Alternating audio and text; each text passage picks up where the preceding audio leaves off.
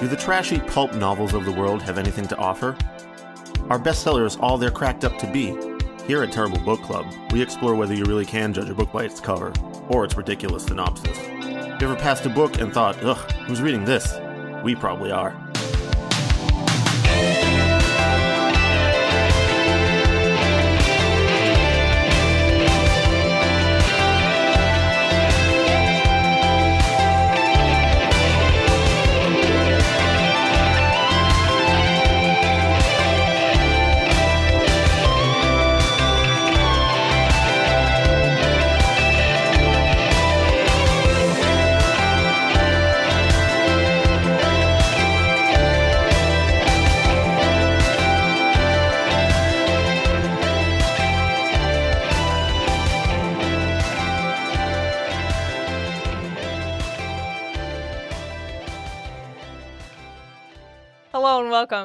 Bonus episode of Terrible Book Club. I'm Paris and this is Chris. Hello. Uh, this today is an unstructured discussion. Uh, we figured we would give you a little treat um, and also maybe treat ourselves to one positive recording before we begin recording for season And nine. this is how we're easing back into things for season nine. We haven't talked about a terrible book in months, I believe. Yeah, we finished everything in the first week of July. And then we were off for a blissful four months.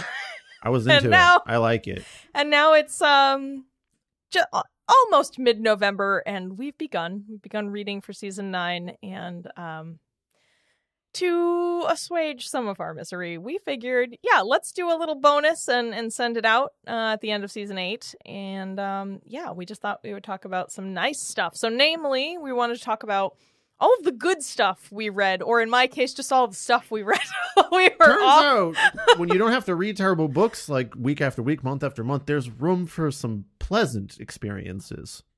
Yeah sometimes i i had very few but uh in any case i read a lot of other books that were not for the podcast which was nice yeah so just a real real relaxing casual day i don't know this is just a good media episode a good cozy Yeah. fireside Get your chat with Get Chris your and Paris. Dress up like the sleepy time tea bear that's what i'm gonna do. Even do if you're listening to in the middle of the summer, just you, you have to do it. It's required by law. yeah get cozy um in the summer i don't know how you get Do you have the little hat? Do you have like the little sleepy time no bear? i, need They have a name though. for those, right? There's, there's got to be some Victorian. Ken indeed would know. yeah ken would know a sleeping cap Yeah, that's probably just. Why do you need a hat to sleep? Well, uh, I mean, for people like me with curly hair, you actually should sleep with your hair protected in like a scarf or a, a silk or satin hat. There, as a baldy, Yeah. I wouldn't know that. Well, and it's better for you know, and no matter what kind of hair you have, really. But um, namely, curly hair is the the most evil of all types of hair. But you see it on like Scrooge in a Christmas Carol, and he's bald, like right, like. Well, he, what does he need it for? well, I guess all right. Think about when you get into bed and you pull the covers up and how they don't cover your head. I think that's the problem. I think, Okay. yeah, All right, I, fine. All right, I'll, I'm not gonna let this one go. We have books that are actually good to talk about, so we're Yeah, not. gonna- Chris, wear a hat to bed, is what I'm saying. okay, fine. um, yeah. Chris, I don't know what do- uh, what do you have for good books? What did you read that was good during our break? I mean, so I'm. I wouldn't say I'm a sophisticated reader. I for pleasure. I yeah, I probably wouldn't say that either.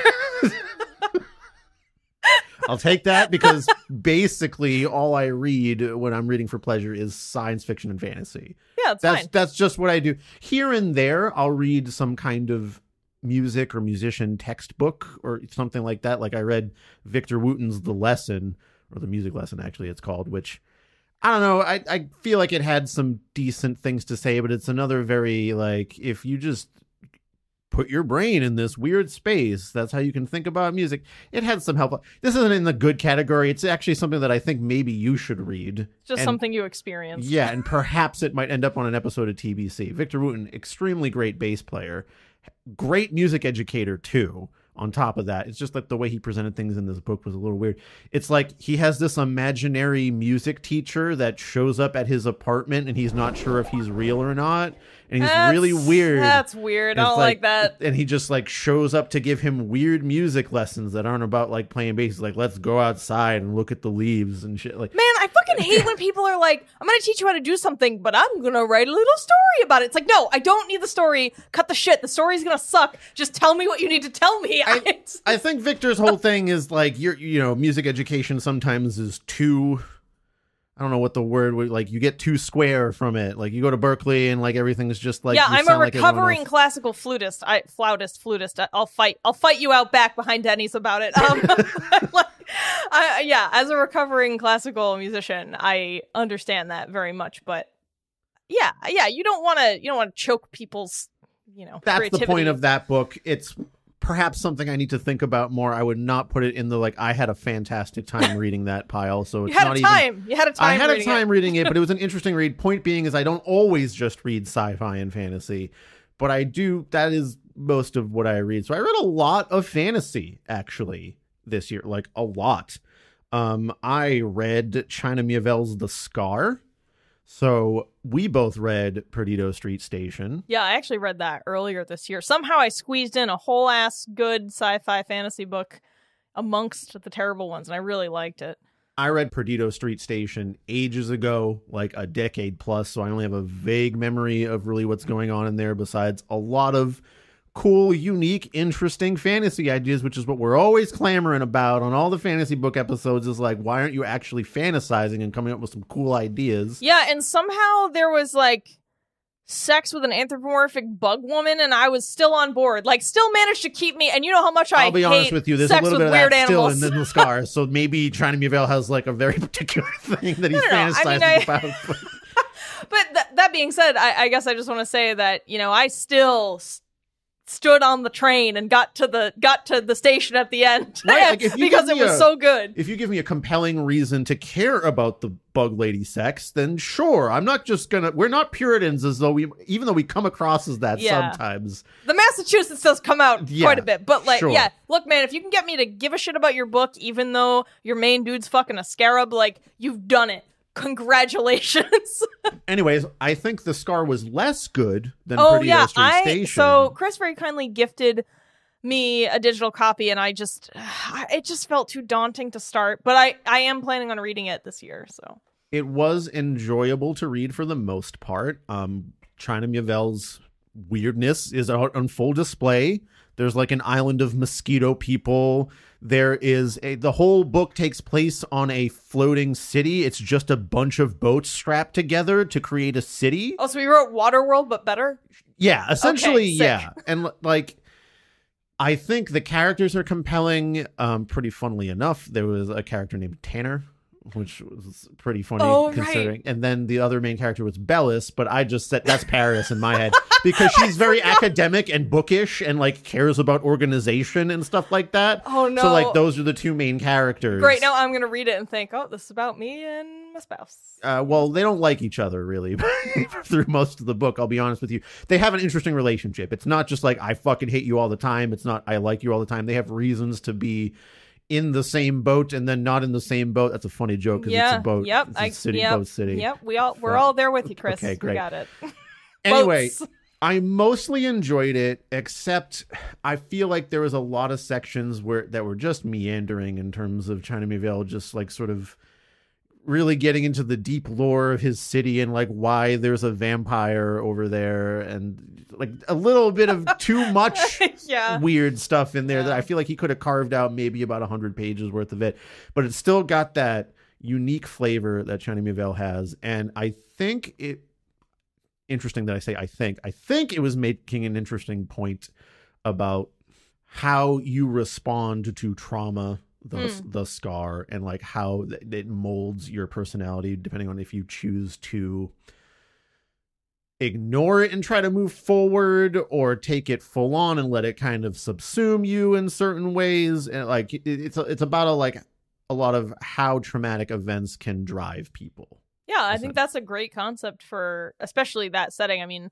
I know you explained to me that it wasn't a direct sequel. It was sort of just like you know, the Scar was in the same universe as Yes. Perdido Street Station, but doesn't include any of the main characters and sort of goes off on its own, which I think is a great idea. I really I oh man, maybe I don't want to talk too much about things that I hate, but I just am sort of tired of all these authors trying to spin out this story into like three or four books just to make a buck. And I know the real evil is capitalism. We we always talk about this, but like it is a little tired when you get to the end of a first book in a series and you're like, well, they could have wrapped that up, but I see they've spread it out across many more books that I now have to purchase. Mhm, mhm.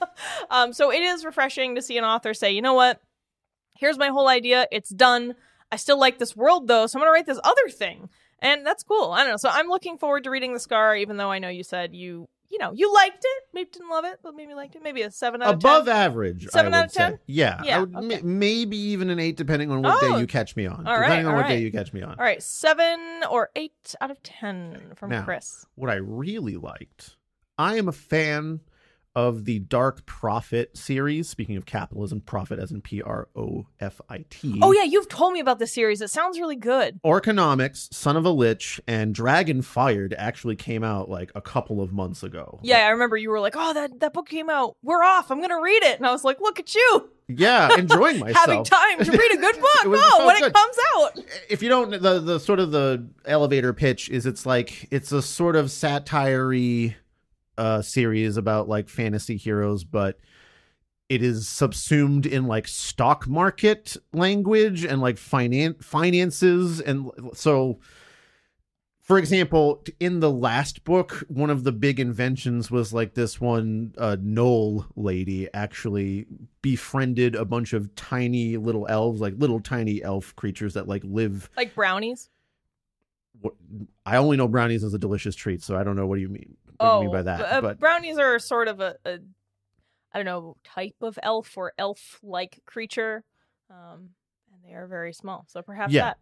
I guess inspired by that. They're like they're almost termite like. Like they hide in like your the wood of your cottage and people like try Yeah, to that kill sounds them. like a brownie. Yeah. Anyway, she befriends a lot of them and she figures out that they're actually pretty good at doing spreadsheets. Like if she gives them certain commands, they can like very quickly fill out a spreadsheet and do calculations. So like the the sort of one of the arcs of the third book is her like using that to do detective work to find out like where this weird financial thing is really coming from. God, this is like this is like the nerdiest shit. I love this. It, honestly, it sounds dry, but it's funny as fuck. No, I know. So Chris, I didn't read it, but Chris did send me several screenshots of pages, and I thought the jokes were pretty clever and actually gave you a chuckle, especially if you, too, listener, are an adult currently being crushed by the American capitalist system. it's got something to say about that stuff. It kind of ends in like very standard fantasy fairways, which Oh, I wasn't like. Yeah.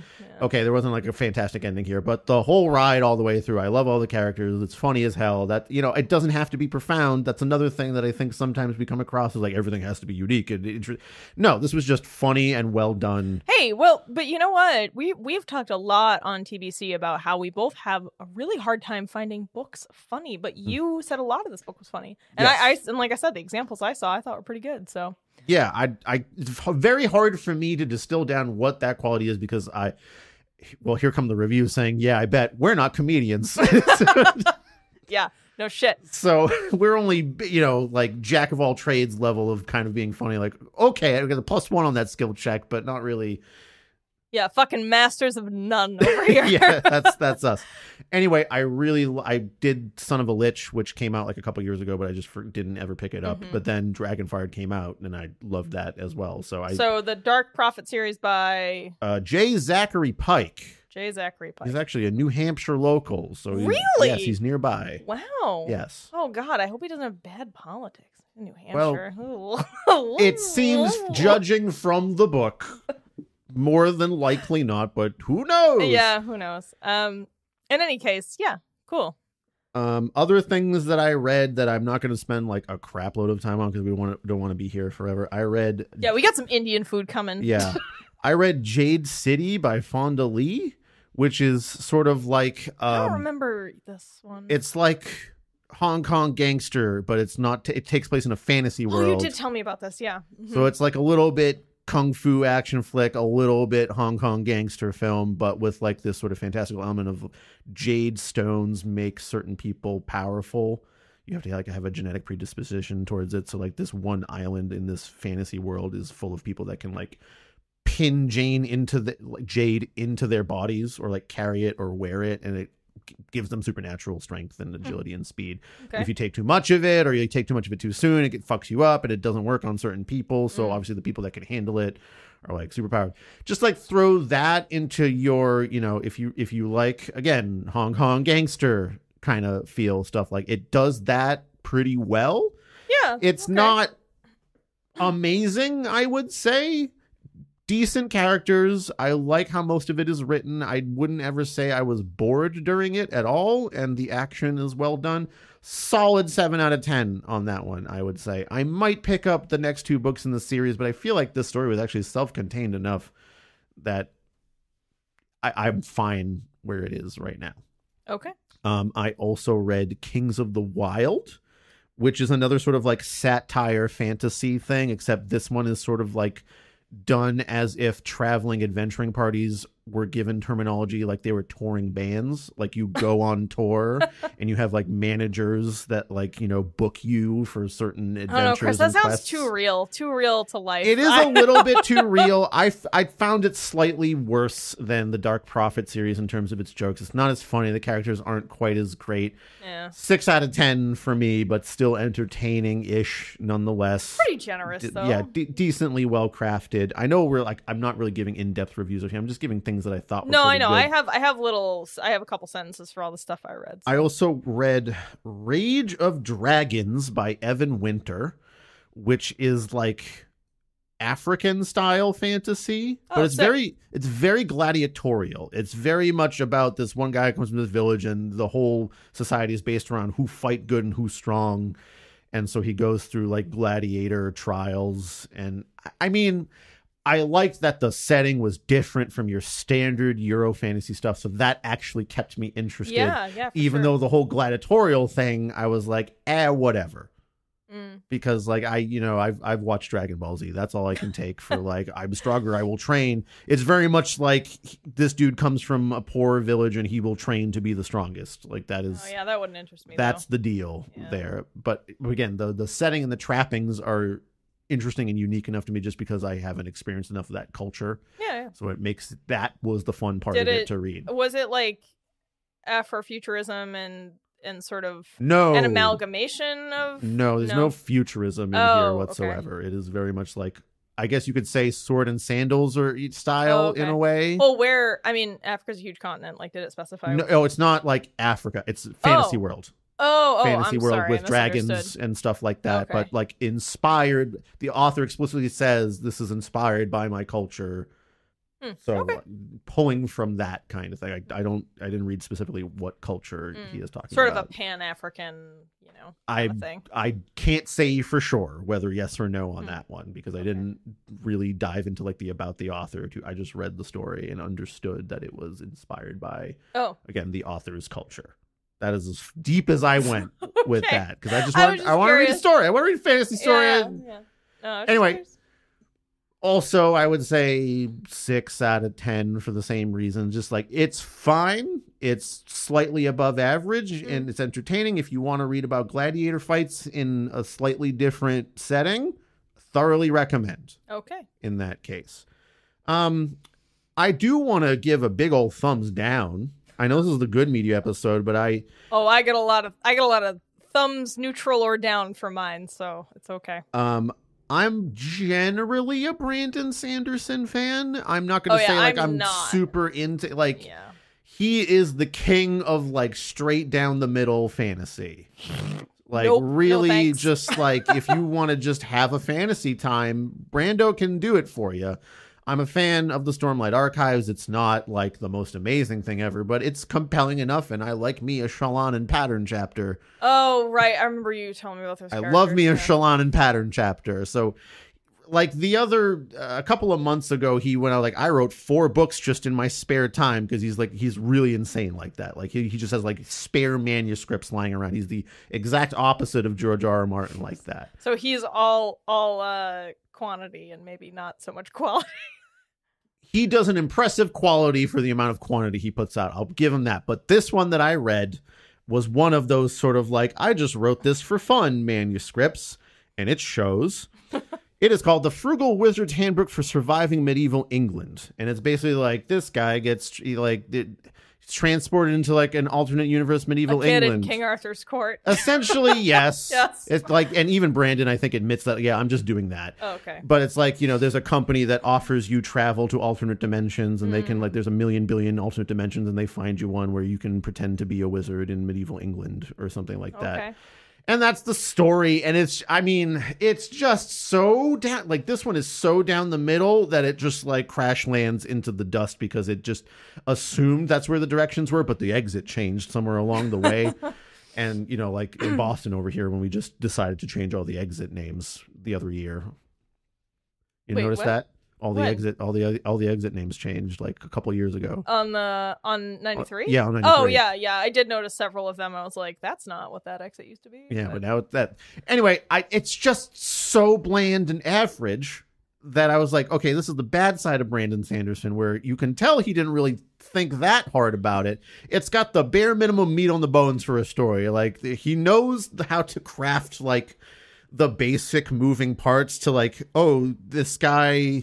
You, you're gonna care about him because he com- came up from a bad background, and this is his like he was an ex boxer. That's not what he was, but you know, like and he had to go down in a fight because his mob boss told him to, to Oh, take the dive and he's that kind of thing Where, Yeah. and i was just like man i i am not into this at all it was boring but i finished it because terrible book club has conditioned me Yeah. to just see it all the way through Yeah, really. it's really hard for me to end up uh not finishing something, but anyway i thoroughly recommend the dark profit saga that's what i had the most yeah. fun reading this year good. you good. guys should read that if you're into d&d or fantasy novels of any kind or having a funny time i think like here's the thing we i think we've read a couple of books in our regular schedule that are kind of trying to do this but are a little bit aimless about it and i really like that this one had that targeted like it's parodying it from the finance angle yeah, which is fun. unique and interesting yeah, for sure. those are my good books that i enjoyed All right. Um, mine is going to be more books that I experienced. I had Okay. a lot of thumbs downs for mine. high bar over here. You you would thought I would think that the the bell curve would get pushed in such a way where you're just like finally just any it's fine. At least it's fine. Thank God. No, so uh, a lot of the books that I read throughout the year that are not for the show are actually for my workbook club. Uh, and the workbook club is great because we have a rule where we try to keep it around 200 pages. So we read a lot of novellas, short stuff. So it you know makes it more manageable and sustainable. So the book club continues, and we just do one a month. So I've read a lot of stuff for that. Um, however, I'm just gonna cover the period, or like our break period, I guess. Because that's what you did, right? That was No, I was including some stuff that I read earlier in the year, but mostly okay. yes, it was in the break period. I think it is fine to include anything that you did at any point because it doesn't as long as it's something good that you like that Oh, you experienced. Well, I can give you some real, just a real quick drive-bys of all the books that I read for book club, um, and then stuff I read just on my Try my to own. highlight the good ones to maintain the positive atmosphere of this episode. well, uh, that's fine. Uh, I was gonna let me get my little reading. The app. glass is half full, Paris. But convince yourself that the glass is there. Um, all right, the so utilitarian uh, looks like in January of 2023. For my workbook club, we read This Is How You Lose the Time War by Amal El-Mohtar and Max Gladstone. I gave it a three out of five. Excellent prose, but it's hard to get me into time travel and romance no matter what it's cloaked in. Yep, yep. That's my just one- bad combo. I hate my it. one line. yeah, it was it was just an unfortunate pick for me personally. Um again, excellent prose, really beautiful language, but like ah, the fucking fuck the plot. I thought it was dumb. I don't care. I mean, an interesting concept to have two authors. Um, I from what I understand, each author wrote a chapter and they sort of swapped back and forth. And there's two characters throughout it that are sort of leaving each other letters of a kind. So, not not an entirely terrible premise. I just I, fuck time travel and fuck romance. I just don't. I don't want it. Fuck Outlander. Sorry. I mean, shit. Yeah. I wish. Here's the thing. I think you per maybe I'm, I don't want to put words in your mouth actually, but for me, I don't like it when a time travel romance is based around I can change things so they love me. I hate that. Outlander isn't that. Uh, Outlander yeah. is just my lover is in the past, and I'm just gonna go back there and hang out with him when I feel like I it. mean, I've, I don't fucking get out of That's a little bit different. No, I hate that too. Sorry, it's just not not for me. Anyway, we already talked about Perdido Street Station. Apparently, I finished that in February of this year. Um, I think we may have talked about the short story collection Jagannath by Karen Tidbeck on here. If I haven't, my friend Stephanie uh, lent this to me. I gave it a three and a half out of five. Uh, some stories were great, notably Rebecca, Arvid Pekon, Aunt Britta's Holiday Village, Jagannath, and the final two about the Fey world of excess. The rest were forgettable. So, it's a really short short story collection, like a, maybe 100 pages, maybe 92 or something. So, honestly, if you're looking for some sort of kind of weird um Scandinavian inspired stuff, Karen Tidbeck is Swedish. I would check out Jagannath. Again, low level of commitment, right? Short stories. There's like eight short stories in 100 pages, so you're not you're not even if you don't like something, eh, you just move on. Um, so yeah, I think uh, I would recommend it again if you are looking for Scandinavian tinged, kind of odd stories. Okay. Not explicitly like horrifying in some ways, but not like not gore, not you know nothing graphic, but things that leave you unsettled. There's like a say. whiff of herring in there. Just yeah, like a little yeah, just a little little tinned herring. Ugh. Yeah. Just a little uh fucking uh uh well, what am I thinking of? The Um, surströmming? Is that what you're thinking? uh something uh no, um how to call? Uh the fermented shark. That's what I was thinking. It's in there. so- It's, Yeah. You're just catching the scent of it. Just a note of fermented shark. Uh, for a workbook club in April, I guess we read "Walking on Cowrie Shells," which is a uh, by Nana Nkweti. I gave this five stars actually. Fantastic and varied collection that gifts readers slices of Cameroon and its descendants in America. There is myth and magic here, but the focus is on the heart and the struggles of Black women. So, great short story collection about Black women in Cameroon and uh, in America. I highly recommend that. Um, there were, I feel like there was only one story in the whole thing that I was like, yeah, but a lot of them were so good. Um, I didn't, again, I didn't even pull out specific stories to mention because I think it's worth reading the whole collection. I think it was a little over 200 pages, so again, very doable. Oh, let's see. I'm just going through my Bookmory app. Uh, this is not an ad; it's just a random app I found that I really like to keep track of my reading. um, uh, in June, we read for Work Book Club "The Buddha in the Attic" by Julie Otsuka. I gave this four stars, and my review was thus: succinct, pluralistic, poetic writing convention. I learned things. if you don't know much about Japanese immigration to the US, this is a great read due to its brevity and impact in such a short form. Uh, so it it is about Japanese girls and women, mostly girls though, who came to the US as sort of mail order brides in the early 20th century, where these men, you know, were looking for wives and they sort of this is the first catfishing um i think really like I don't think you can say that's someone's catfished before through like I don't know like well this- letters. well that's in- that's in what i mean this was this was like there was an industry around this though where all the men wrote fake backgrounds for themselves or or the agency would and then they'd send a picture that was Oh. like 20 years Whoa, old catfishing from the men's side. yes Oh, yeah intriguing. so the men were all like My oh, dear yeah. lady, I am a lord of England, henceforth returned from the war. no no you it's show like up and he's like, "Hi, I'm Dave. Yeah. I live with my mom." Exactly. So what happens is these guys send these letters with pictures that are 20 years old being like, "Yeah, I'm totally 30 and own a thriving fruit farm." And then the women get there all the way from fucking Japan with no one, no no family, nothing to their name, and they're supposed to marry this guy and turns out he's actually 55 and he lives under an overpass. Wow, like it took it's you so long to get here. Whoa. wow, I've aged so much. So, I mean, this is I'm sorry, we're we're laughing, but this is a, a real and kind of hideous thing that happened and it just follows so many different women and these women are uh you know, sort of an, an amalgamation from pulled from uh original sources, primary sources, but become fictional, you know, and I just really think um Julia Otsuka did a great job of making these people real, even though we only see them for two sentences sometimes. You know, it's really just this kaleidoscope, this shifting landscape of experience of all these different women and all the ways they came here from Japan and experienced America.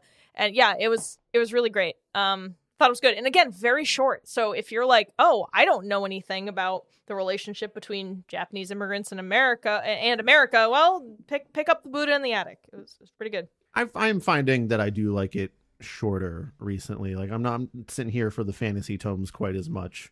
Perhaps we've got the TikTok brain. Is that what's happening? It's like we no. all of our attention spans. Um all right. So moving along to August. So this was during our break. I read Oh, this one is so bad. Um so- Positive me good media episode just No, no, no. breeze by. No, I'm I'm just gonna say I picked up two books when I went to the Isabella Stewart Gardner Museum this past year. I go pretty much every year, sometimes twice a year. It's a really beautiful museum in Boston.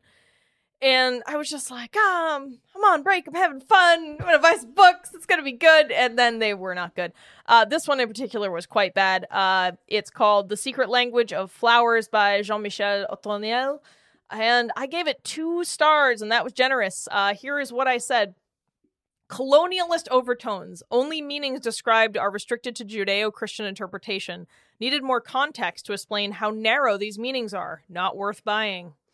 Was he like, you can see God in the flower? Yes, that is every- the secret language of the flower. You see our maker in each petal. Dude, every flower, every flower's backstory is like, well, it's red because Mary bled on it. Well, it's blue because Mary cried on it. Like, I'm not fucking kidding. Mary, what are you doing? Stop. it's just You've contaminated all the flowers. Yeah, it's just like, look, I get the white Western world dominates stuff, but there's a whole other globe of different cultures out there who probably have different meanings and ascribe different properties to these flowers and use them in art in different ways. What the fuck? It was just really disappointing. All right, uh, next one. It was green because Mary puked on it. yes, exactly.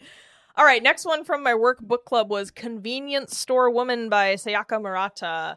Uh, I gave this uh, a soft three stars. Oh shit, I didn't write a comment about it, but all I have to say is that this book was recommended to the book club because everyone said, "Oh, it's so weird. It's like so weird and oh, it's so weird." Like that's all the internet and anyone had to say about it. So I pick it up and I'm expecting something weird and it's it's totally fine. It's a very normal book. It is just about a woman who is who probably has autism or some other sort of different way of experiencing the world really. It's never stated, but it seems like that's probably what's going on. And it's not weird. It's not weird. I was just so mad you guys by the end made of it it. weird. It's not Yeah, the book isn't weird. exactly. You're weird. So the whole premise of the book is that this woman uh, gets a job at a convenience store and she ends up working there for like 18 years or something. I think she starts working there when she's a teenager and she's still working there when she's in her 30s and it's modern day Japan, so everyone thinks it's weird, you know, because she doesn't have like a corporate career and she's not married and she doesn't have kids and people are just like bitching about it all the time. And her whole thing is like, I, I guess I just identified with the character a lot, which is why I was like, hey, this isn't weird. this is Yeah, she's just like, it's fine. I'm fine. You're all weird about this. exactly. she was like, "Well, I don't, I don't, I don't want to work in a office tower. I want to work here. I, I'm good at this job. I actually really love that. That like everyone that is reviewing this book is like, she's so weird. Why would you be like? It's it, do you is that your interpretation of why other people think it's weird? I think so because it's like, oh, how could someone think that, you know, not the hegemonic design is is okay? And it's like a lot of people feel this way. I just, I didn't think it was weird. Listen, man, if didn't I could weird. be comfortable working in a convenience store, I guess I'd probably do it. It's just that that's not really a way to be comfortable. Well, right. So that's the other thing is like she had the means to she was fine working there, doing her own thing, eating really bland food. She just wasn't she like wasn't into food and wasn't into excesses at all and was like, "Yeah, I'm fine. I live in my little apartment and I'm really good at convenience store. I am really good at convenience store stuff. This is what I want to do." There's nothing wrong with that, man. Like if whatever you your be passion happy, is, yeah. it doesn't have to. It doesn't have to be some crazy skill that everyone respect. Like if you're really good at stocking those shelves and you feel good stocking those shelves, Well, and she was she was excellent though. She did everything in the store. Always got like the best reviews. She was fantastic at it. And like If she's happy, who fucking cares? Leave her alone. That was like honestly, if if you're like you're the best convenience store manager ever, that is something to be proud Yeah. of. So I, so anyway, I was expecting a bizarre book, like, and then I just got like, I don't know, this girl works at a convenience store. The end. I don't know. I just didn't think it was very interesting. So even though I didn't think it was weird, it was so like bland to me that I was like, I don't know, this is whatever. I would assume that that's part of the mood of the story too. Is yeah. I, I think that this book would be good if you, you or if the reader was maybe a younger person and had never encountered somebody who doesn't share the ideals of the hegemonic structure, right? So if you're like 14 and you don't know anybody who experiences the world differently, this book might be good, right? Yeah, you just you're like, never thought about "Oh," that. Exactly. But I feel like if you're in a if you're in your 30s or late 20s, like yeah, I don't know, you You'd be surprised. yeah, I guess right? you're right. You'd be real surprised. Some well older adults haven't even thought about that that way. So maybe you're right. Maybe maybe this is just uh, maybe I'm just very fortunate to know a lot of people who experience the world in different ways and have different ideas and opinions, including you know myself included, I guess. So, um, yeah, I didn't. I it was fine. It's pretty short. If you're interested in reading about a woman who is somehow neurodivergent, uh, really likes working at a convenience store, give it a go. I think the weirdest part about it was the um appendix. So after the story ends, there's some space, and then there's a letter that the author wrote, sort of in not actually in the voice of the main character. This is like a separate story, but she's also a lady who's in love with a store and she wants to fuck it and she talks about she wants to fuck the store. okay. That was way weirder than anything else Okay, in the well, well, sure. Maybe that's what everyone was talking about. Is no, like, but it's disconnected, but it's not in every edition. So I don't okay. so Okay, let me ask you that. Are we are you like grabbing each item in the store and like having your way with it or are you like going out to like the meters? No, like the I think- utilities? I think she was like, like yeah. against the side of the wall. How yeah, do you yeah, fuck I a think store? I think she was like, yeah, we're gonna go in the back room. I'm gonna I'm gonna ruffle up your your uh, stuff on your shelves, and I'm gonna take off my clothes or whatever. I don't. I'm sorry. I'm paraphrasing heavily because so if I want to fuck a store, book. I have to vandalize it. yeah, I think it's a little. Yeah, it's a little It's vandalizing. fucking up a store. Okay. Yeah. So anyway, convenience store woman. There's right. two convenience store women. It sounds like. Uh, yeah, I guess so. All right, next one. Uh, again for work book club, I read "Heavy" by Kiese Laymon. This is an autobiography, uh, and I um I was really looking forward to reading it because the author actually spoke at my job, uh, and I found what he said extremely compelling. I thought he was very um genuine and just I don't know, really yeah, just very compelling uh, in the way he spoke about his life and the struggles of Black Americans, specifically Black American men, specifically Black American men who are trying to exist in academia. Uh, and so I was really stoked to read his um, autobiography, and I don't know, I gave it a soft three stars. But this is this is what I said. I tend to dislike memoirs. I just don't find them very exciting or interesting. If you've never read about the life of a black man in America, though, this would be worth reading. So I think specifically if you have struggled with um weight or eating stuff uh or if you've had some struggles with like physical or sexual abuse, you know, you might find some value in this, but I don't know. I just I don't know, man. I was I was really bummed because I, I really wanted to love this, especially after hearing him talk. And then I was just like, I don't know, it just didn't hold my attention and even though you know i can identify with some of the traumatic stuff and it does make you feel terrible it just like there was something about the style of prose that didn't grab me there was something different about the way he wrote and the way he spoke and i thought oh the way he speaks is going to be the way he writes but i don't know i just didn't didn't hold my That interest always line up. yeah uh, sorry i don't have a great um in-depth story there but eh, wasn't for me but again i don't really love i don't like autobiographies in general Yeah, so i think that's I really just like why are you so it's not important? Why, why did you decide you could write about yourself? Who are you? i think he he has some important things to say but sure. the other- that's my general attitude. yeah same like i i don't don't really like autobiographies and i think or memoirs or whatever you want to call them and i think another thing is similar to convenience store woman i just feel like a lot of these ideas i already am already aware of and support, you know, the liberation of of black folks. you know, so I, I guess again if if maybe you have never read something like that before, might be worth checking out. All right, in September I God, read only in September. I read They Were Here Before Us, a novella in pieces. This was actually by a Boston author uh, named Eric LaRocca or LaRocca, probably LaRocca. Nah. Ah, I went into this so excited and then I gave it a two and a half stars. so this is another short story collection. Uh, and this I'm I'm gonna tell you why I gave it two and a half stars. I appreciated the inclusion of queer and blind characters and the point of view of non-human animals. Still, none of the stories really captivated me, and few of the descriptions or sentences stood out. I wanted this to be more captivating and complex.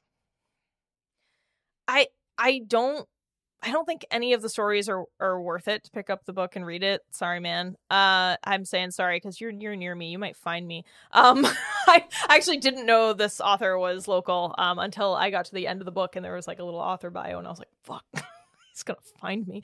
Um, anyway, I so just to give you some examples of some of the stories. The first, uh, this is a, horror story collection, and again, I I did like the idea that each story was sort of was a had a non-human animal that was sort of centered or from their perspective. It was a really cool concept. So the first story was about um some kind of beetle that inhabits corpses and it's from the beetle's perspective.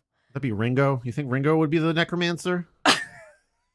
he feels like he's the necromancer. It took me like a full 10 seconds to have any fucking idea what you're talking about. I was just like, shit, how do I respond? Maybe Oh. Paul. Maybe Paul.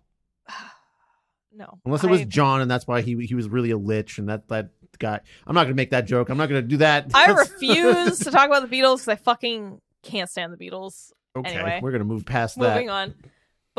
because I fucking can't stand the Beatles. Okay, anyway. we're gonna move past that. Moving on. But insect beetles, Yes. fine. Anyway, so this book's from the perspective of a beetle who is inhabiting a corpse, and the beetle's like super in love with this decaying corpse. Uh, and it's a uh, wow. We gotta put some content warnings on the front of this because I already I already mentioned some stuff that's probably gonna be issue for folks. But um, the corpse is a young woman who was pregnant, and you know, baby was kind of far along, so. Yeah, it was pretty Okay. weird. After that first story, I was like, "Yeah, I don't think I'm going to be Now into there's this." There's weird. Yeah, but it Not wasn't lady good. convenience store will just work. That's not weird. This is weird. This is weird, but it wasn't good weird. I didn't I didn't enjoy it. Uh the second shit, I don't remember what There's a couple so whatever. I can't remember all the stories. I'll I'll pull some that I do remember. There's one that probably the best one of the collection was about this rich guy who had a chimp as a pet. You know, so we're talking somebody with like, you know, this palatial estate and he can have a chimp and whatever. And he dies and he leaves the chimp to his boyfriend. And the story is from the chimp's perspective.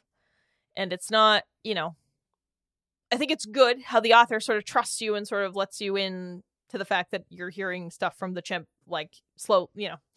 It's not like, "Hello, this is the chimp." It's it's cra- it's crafted I well. am Chimp Chimply. Yeah, Ooh, ooh, ah, ah. yeah. Um and you But come why? Ooh and ah. Uh, yeah, why? and you so you find out uh, pretty quickly that the boyfriend and the chimp hate each other, and the reason is because the man who died was fucking the chimp.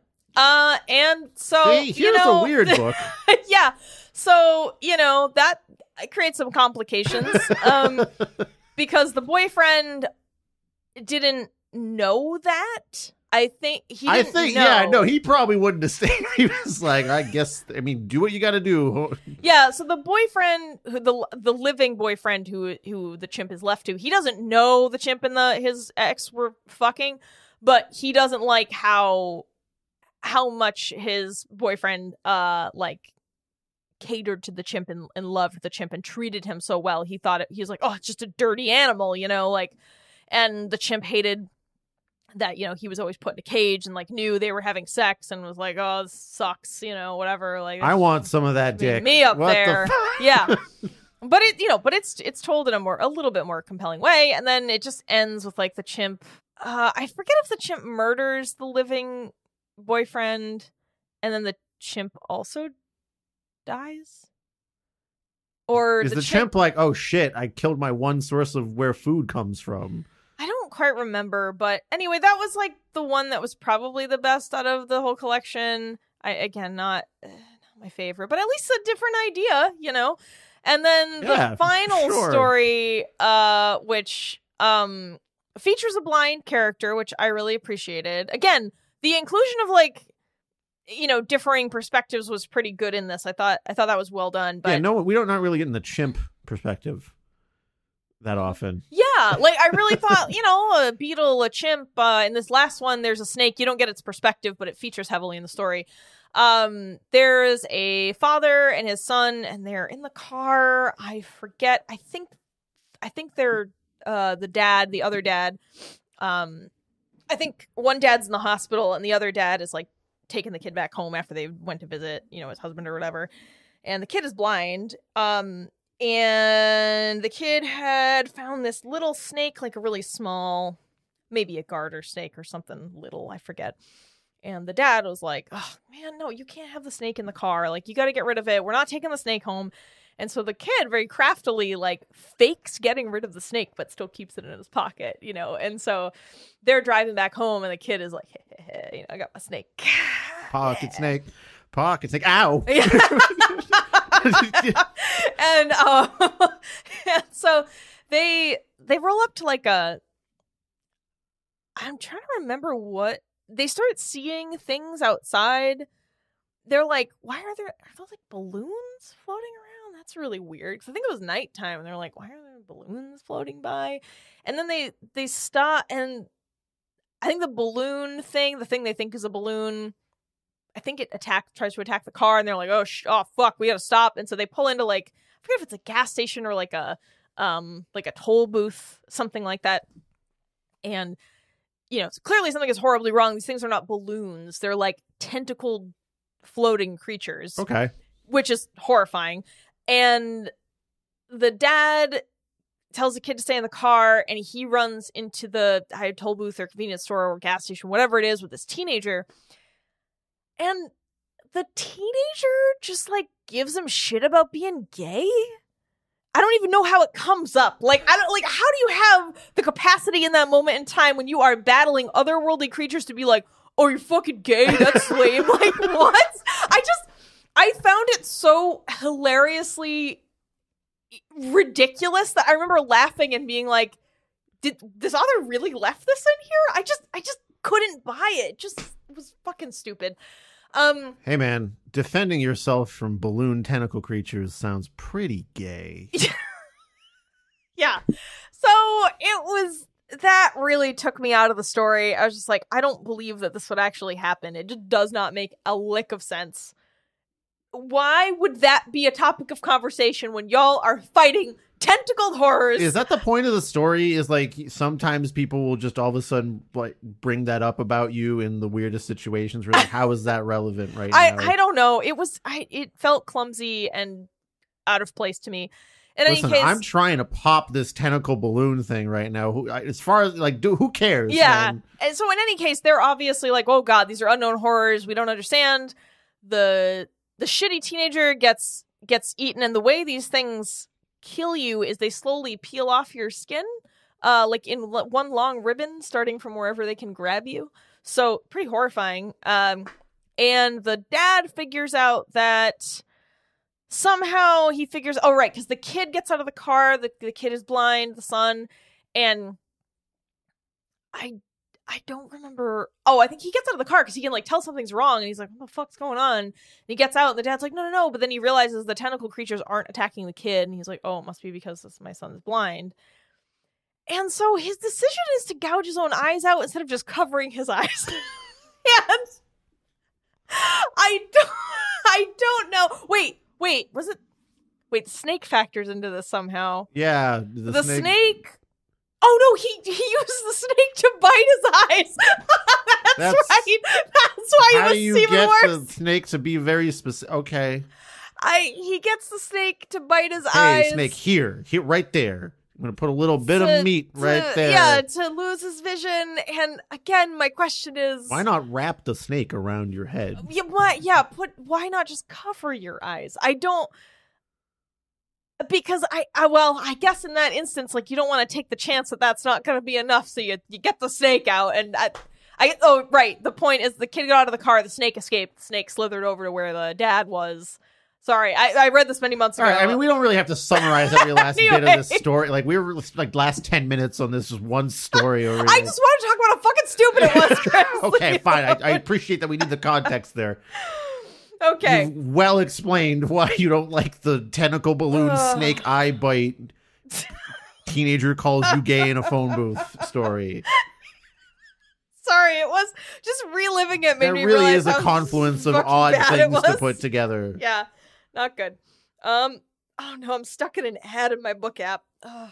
Sorry, I gotta wait till this is over. Okay, while you're doing that, I forgot to mention a book that I read this year that I liked. All right, you got like me. 15 seconds. Go. Okay, it was called Tomorrow and Tomorrow and Tomorrow. My partner gave it to me to read. It was about two people that were video game developers that met when they were young kids and they like create video games together. And it's basically just about sort of this tension and push and pull of like this long term creative friendship between opposite sex friends, which I found relatable. Oh yeah. So I, I thought it was an interesting look at how be- because it was a story about friendship. It was explicitly like this, there is no romance happening here between good. those two, Yeah, yeah. and it was just about a friendship and the ups and downs that come with that, especially when it's a creative partnership. So that was an interesting story that I wish there was more types of that kind of story around, and it took place in Boston partially too. Oh, so, weird. Okay. yeah. Cool. Well, great. All right. My book app is free of the the ad. Um, next one I read in October, uh, Babel by R.F. Kuang, um, or Kwang. I'm actually not sure how to say that. Uh, well, it's called Babel or on the necessity of violence. I gave this a soft four. Uh, this was recommended to me by my dental hygienist. Uh, love, love it. Okay. I have a really cool dental hygienist. We talk about, or we, I, I, I, I do this uh, about You books spit at about her while she uh, cleans my teeth and tells me about books. So it's pretty good. All right, this is my review of Babel. Um, great magic system construction. Love the emphasis on language and colonialism. Also enjoyed the uh, spoiler. Spoilers! Spoilers! Also enjoyed the not happy ending and the author's commitment to killing main characters. Even further, I loved the focus on Chinese and all the footnotes and carefully careful history inclusions. Still, there was something about it that kept me from loving it. I think it was the feeling that it was a step between YA and an adult book somehow. I'm having a hard time describing what it was, but good enough for now.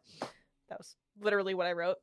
um, so Babel, Much shorter than describing each story Yeah. bit by bit. well, I think the problem with Babel for me is I just really don't like kids in magic school. I just yeah, never I'm real tired want of that. I Although never it's want it. just, I didn't like Harry Potter when it came I, out when I was I'll seven. even say if it has to do with going to a special school, I probably am. That's Yeah, probably why I wasn't into I'm that out. gladiatorial thing because it was Yeah. also slightly like special school for it. And I, I don't know, like you would think as an educator, I'd be like all about that, but actually, I'm just like, I, they- this is stupid. They wouldn't have a special school. For I I think I just don't like books about about adolescence, about like kids and stuff. I don't know. There's just something about that that I'm like, no, I I don't.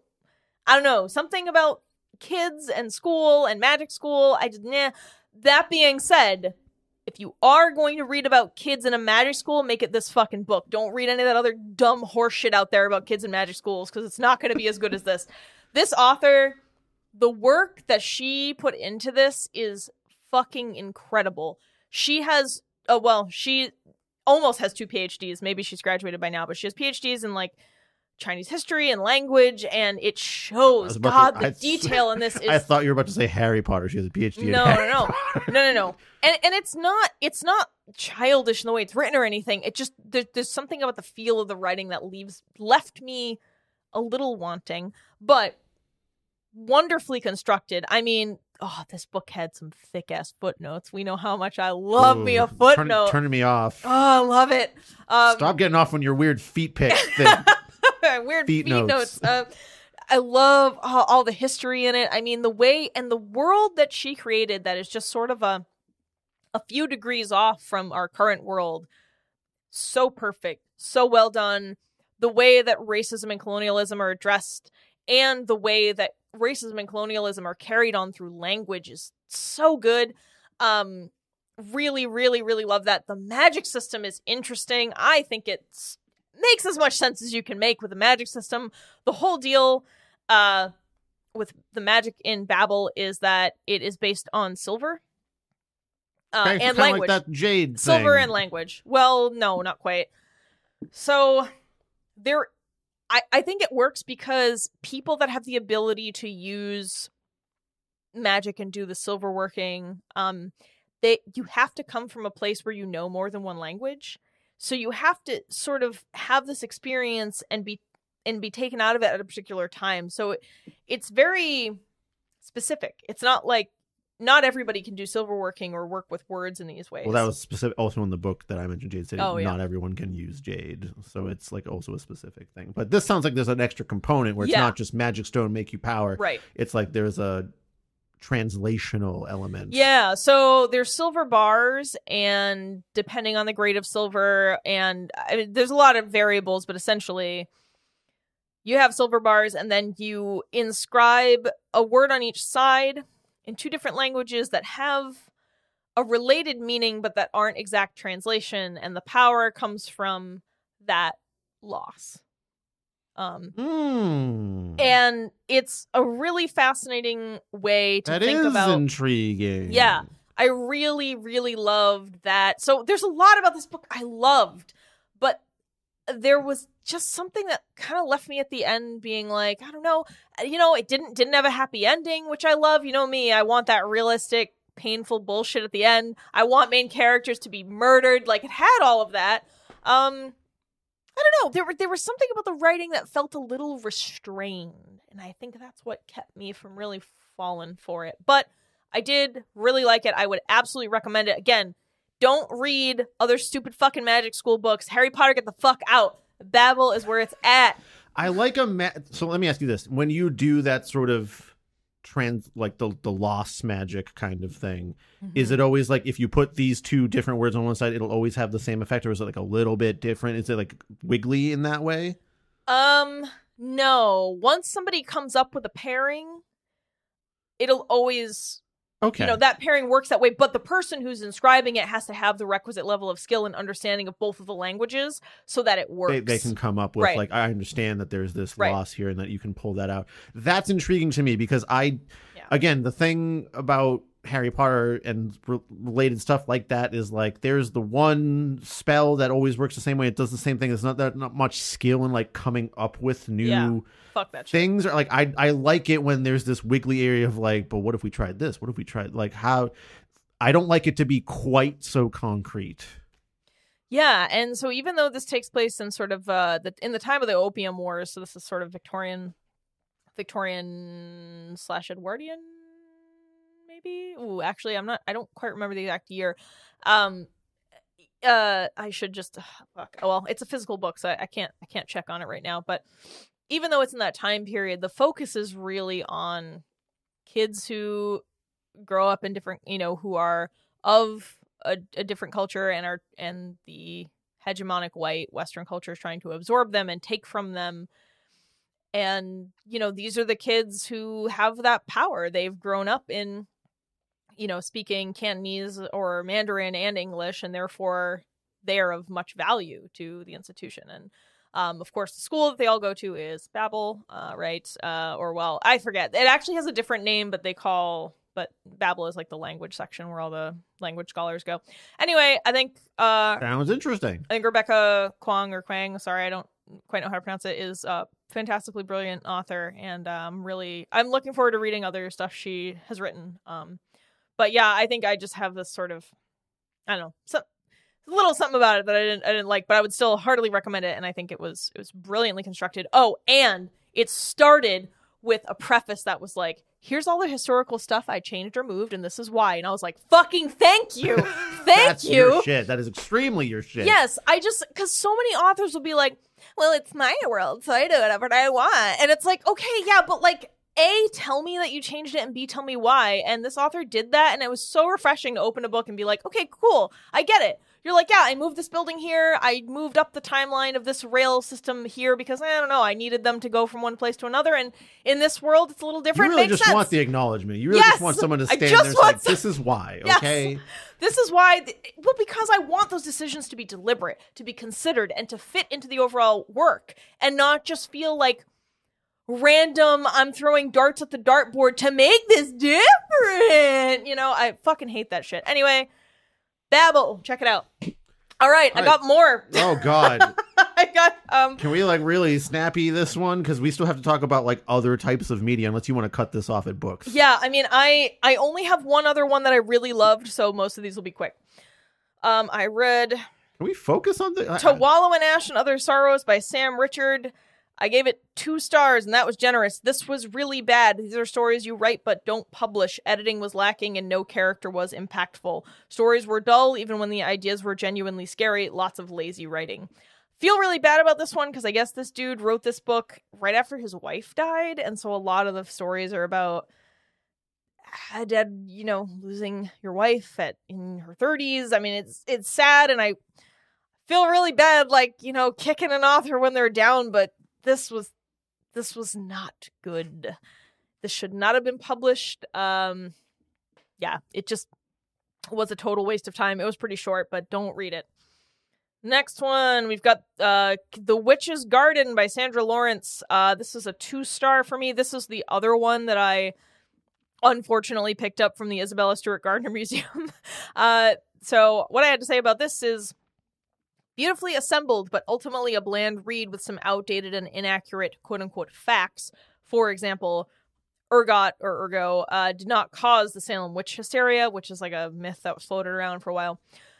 This book was too surface level and general to be a guide to plants. Most descriptions just tell you what the plants were thought to do, but rarely confirms what, if any, real effect the plants have. Waste of time. Very pretty. All right, and then I read. Oh, I forgot I read this. Uh, I actually read one of um, Olivia's books, O.F. Cieri. Uh, I think we've uh, Olivia's been on Antiques Freaks a few times. I read uh, their book or her book, Lockdown Laureate. Um, I had no idea what I was getting into. Um, I I had just finished another book and I was on a plane and I still had a couple hours and I was like, what do I have on my phone? And then I realized I had this that um, Olivia had very uh, graciously gifted us. So I started reading it without having any idea what it was, which was maybe a mistake, but as it continued, I was like, "Oh, okay, I get what's happening here." Um basically, it's like it's just a bunch of little vignettes about different kinds of people in New York City, but it's, you know, it's kind of gritty and it's got got some got some darker vibes. Um, I gave it three and a half stars, and I thought it was pretty good. It was really short. I thought the language was great, editing was good. So if you're into just sort of like dark and a little bit dirty vignettes about people in a big city, check it out. I don't know if there was I didn't sense a greater connection, but um yeah, it was it was pretty good. Decent. Got a couple hours to kill. Um and lastly, the book I loved the most, uh close second to Babel, while I was off was Feed Them Silence by Lee Mandelo. This was a work book club pick and goddamn do I have a lot of good things to say about this book, but I'll keep it brief because Chris wants to run away and our Indian food is nigh. Yeah. Uh, I believe it's already here. I gave this four and a half stars. This is pretty close to a five. This was a short story about 105 pages about a neuroscience researcher who studies wolves and she's having marital strife at home with her wife. And God, Lee Mandelo just packed so much shit into 105 pages. This is what I had to say. Excellent characterizations and themes. Characters were very realistic, and a lot was done for the reader in a very short time. Nothing was weird or nonsensical or out of line for a person to do. The science was futuristic enough, but still believable. The queerness was centered without being othering. Would read any of Mandelo's stuff again in a heartbeat. So Lee Mandelo, check his shit out. Feed Them Silence was so good. Um, they like there's like again, we're talking 105 pages, and somehow we get these really great character portraits of the scientists, Sean and her wife, Ria. And Sean is definitely I would say a pretty unlikable character, and yet you're still invested in the book, which is a fucking hard thing to do. It's something we've talked about a lot on the show about how it can be really tough to to get that get that in there, especially in a short book. Um, there's you know um, ethical science stuff that comes up with the way they're studying the wolves. The notable thing in this is that it is well, weirdly this book takes place in Minnesota, and I was actually flying to Minnesota when I started it, and I didn't know that. No, you're gonna get So- fed the silence. Oh no! Uh, so that was kind of fun. Um, it takes place at the U of M, University of Minnesota, in the near future. It doesn't specify a date, but it feels like probably within the next 20, 30 years. Not know? to interrupt you two here, but like Sure. noticing that I got the the little mild kick out of like this book ta- takes place in Boston. You were like, oh, it's going to Minnesota. Is there a word for that feeling when you're reading someone's like, oh, that's where me is. I'm sure there's a German word for it, but not an English one. Um, listeners, if do you know what what word is for that weird, funny feeling of like, oh, this is occurring where I also physically am existing. Yay! Yay! It's it's fun. Um. It Anyway, me place. yes. I don't know. It was just sort of a fun coincidence. And in any case, uh, the science in the book specifically, again, this is, we're talking eh, 10 to 30 years, probably 20, 30 years in the future. So still sort of modern, but a little, a little more advanced. This researcher has gotten funding from a corporate entity to test this uh, neural mesh. So they implant neural mesh into this wolf. Of course, they have to like trank and do surgery on an animal without its consent, obviously, which is you know dicey, Mhm. especially because it's like not to benefit the animal. It's like we just want to link up brains, and so That's the- supposedly what Elon's up to with the monkeys, right? So fuck that shit. yeah, Fuck Elon Musk, God. Um, and so the researcher also has neural mesh implanted in her brain. So they, she, what the mesh allows them to do and all this like software and, and lab shit that they have going on is she can kind of ex- experience what the wolf's experiencing for 10 minutes at a time because at that point they don't know how safe it is. So she has all these episodes of going going into the wolf and warging.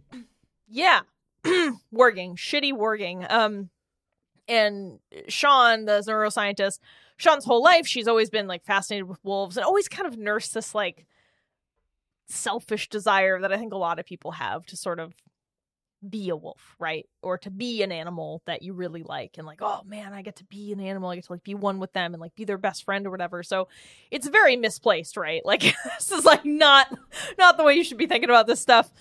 Um, and she knows that, but she's still like, you know, nah, this is still how I feel. So she has all these experiences with the wolf, who I think she names Kate. I think she nicknames the Oh, wolf Kate Kate the wolf. Kate the wolf. And you know, the this this uh this wolf pack is the last wolf pack. So that's the Oh. other thing. you know. That sounds like a really bad metal album. Yeah. The last wolf. Pack. with the boys. That's- No. really- Uh, anyway, it's you know environmental degradation, climate change, etc. Um, so it's really important that they study them, and they're really concerned that the wolves are actually starving to death because there's not a lot of food out there, so life is rough for the wolves, and there's a lot of that. But then at home, you know, Sean and her wife are not having a great time because Sean is so self-absorbed, and there's all this this tension about like oh, but we're the perfect academic couple, like two lesbians, you know, being cool with our different interests. I forget what Ria's um, field of study is. I actually don't know that it's ever it's ever said.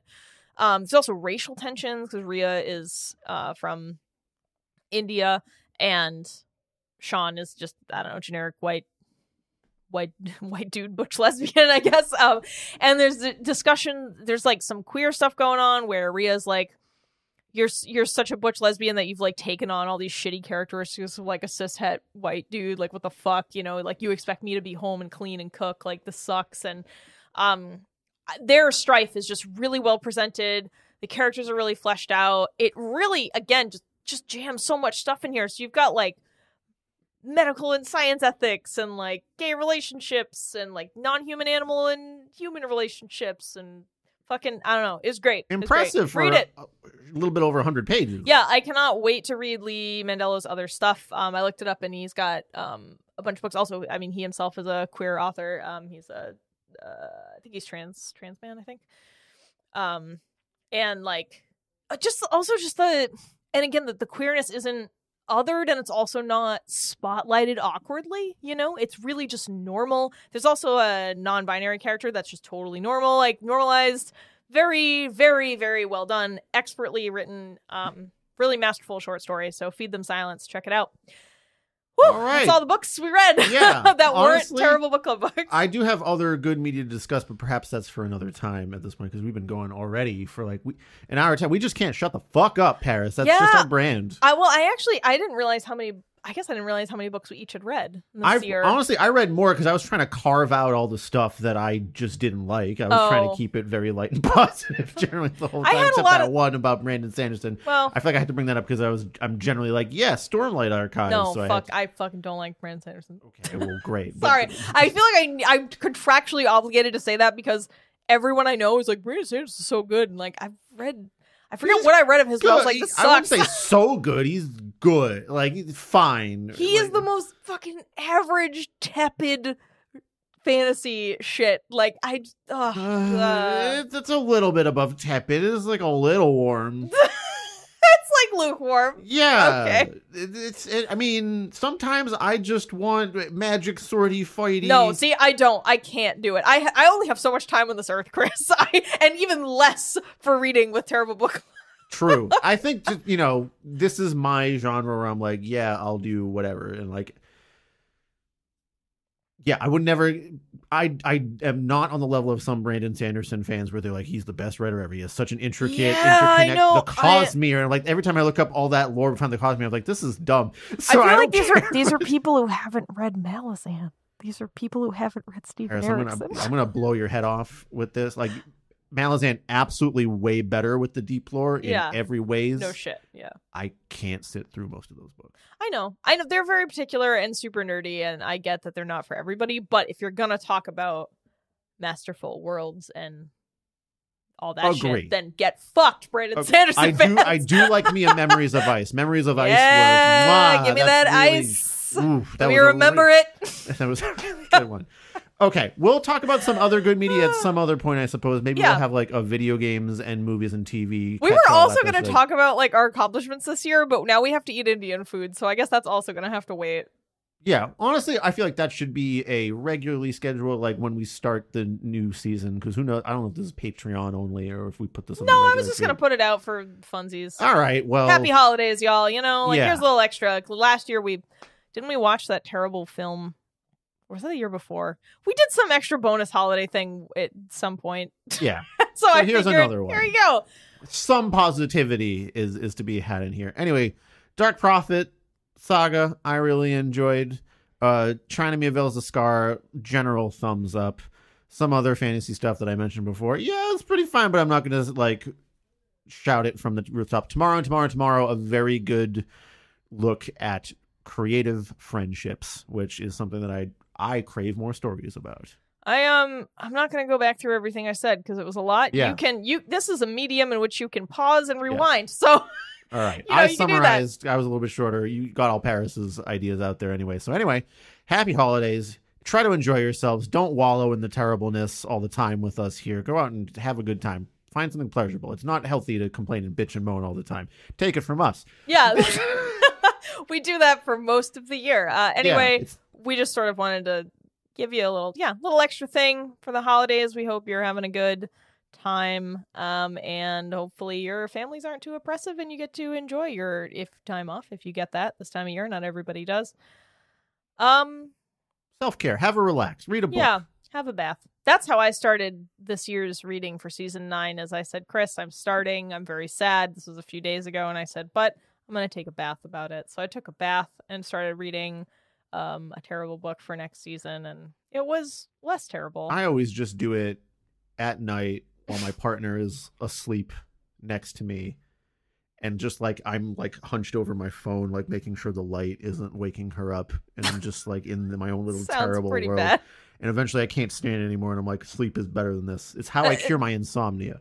Oh, yeah, I guess that'll do it. Uh, but in any case, yeah, we just sort of wanted to throw an extra thing on the calendar for y'all since we pre recorded everything so early. We figured it'd be fun to, you know, do something in the fall and, and let you have this before the year is out. But we are hard at work on season nine. In fact, tomorrow in our timeline, we are recording a bunch of episodes. Um, so Can't wait. Back to the shit pile. Yeah, it's Get already- shovel, Paris. Take the shovel.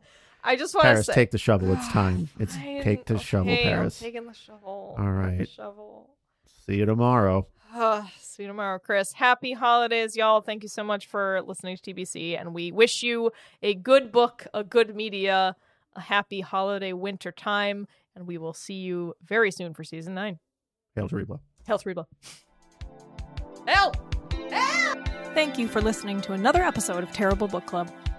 Terrible Book Club is an independent podcast produced by your hosts, Paris and Chris. Sound design and audio editing by Chris, with sound effects and music by Epidemic Sound and sometimes also Chris. Our theme song is Kiss by Yearn, which is, you guessed it, actually also Chris. You can find more of his soothing synthy sounds on Bandcamp at yearn.bandcamp.com. Do you want us to review a book of your choice on the show? Do you want access to some extra audiovisual weirdness? If so, become a patron at patreon.com slash terriblebookclub. If you'd like to send us a one-time tip instead, you can do that at ko-fi.com slash terriblebookclub. You can also support TBC for free by sharing the show on social media, following our accounts on YouTube, Twitter, Instagram, Facebook, or Goodreads, telling your friends about your favorite episode, or by leaving a review on Apple Podcasts, Podchaser, or anywhere else on the internet. To send us book recommendations or your adorable pet photos, send an email to terriblebookclub at gmail.com.